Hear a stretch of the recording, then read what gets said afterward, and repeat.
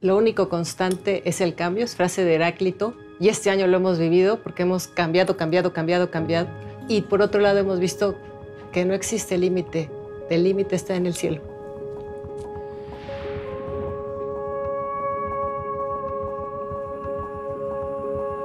En enero 2020 actualizamos este código epidemiológico. Entonces lo que hicimos fue eh, tener reuniones con los jefes para empezar a informar de lo que estaba ocurriendo y por supuesto que cada uno de los jefes de diferentes áreas pudiera tener su procedimiento y su protocolo en base a lo que teníamos en ese momento la información del virus. Para el mes de enero del 2020 ya habíamos designado un área en la torre central de este campus observatorio y estábamos listos para recibir estos pacientes. Como laboratorio clínico era muy importante contar con la prueba diagnóstica. ¿Cómo íbamos a saber que este paciente tenía o no tenía el virus? Vimos cuáles eran los equipos que íbamos a necesitar para resolver esta cuestión diagnóstica. Y ahí supimos que la tomografía computarizada y las radiografías de tórax iban a ser nuestras principales herramientas con las que íbamos a dar servicio a los pacientes y a los médicos. En el mes de febrero empezamos a tener los exámenes de PCR, que son los que detectan la enfermedad, y con esto hicimos una validación posteriormente con el INDRE y el INDRE nos dio ese aval en el mes de marzo, que con esto también podíamos estar siendo un laboratorio certificado, que fuimos el primer hospital privado en tenerlo. Tuvieron que adquirirse nuevos equipos nuevos materiales para, y reactivos para las pruebas y tuvieron que estandarizarse procedimientos de detección y extracción, así como capacitación para la evaluación de los resultados.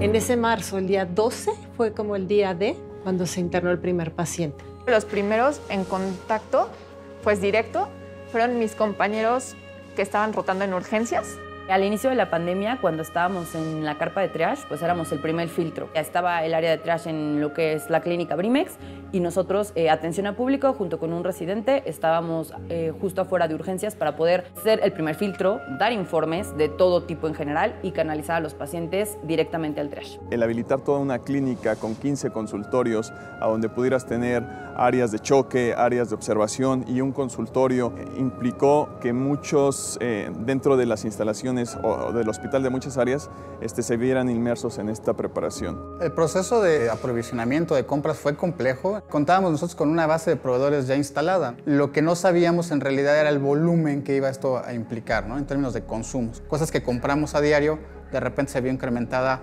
cuatro o cinco veces en términos de lo que generalmente comprábamos.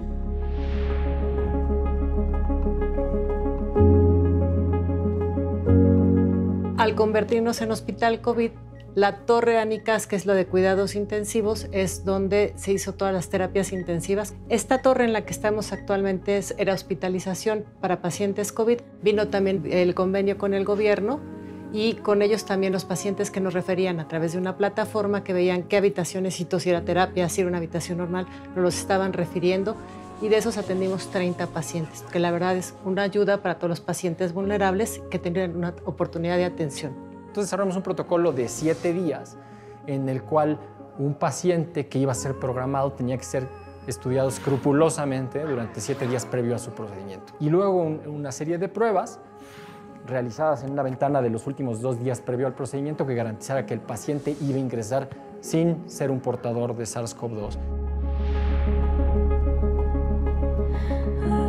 Vimos que no fue suficiente y fue cuando se implementó toda una reconversión hacia ocupar la Torre Anicas con tres pisos para la atención de pacientes críticos, lo que era tercero, cuarto, quinto piso.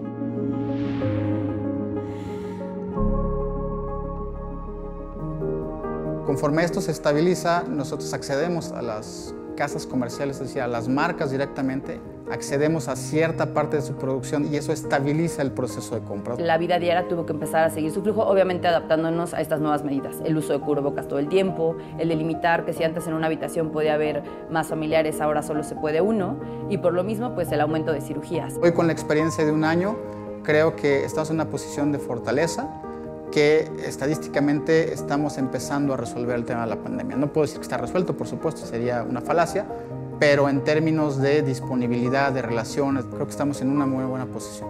La verdad ha sido una historia de un crecimiento personal y de equipo muy importante, donde podrías decir, con tanta tragedia, cómo es crecimiento y es positivo. Yo creo que las tragedias ayudan a que uno crezca, que se toque uno a nivel interior y diga qué quiero y qué hago y cómo salgo adelante. Y eso, cómo motivo a mi equipo y cómo hago que salgamos.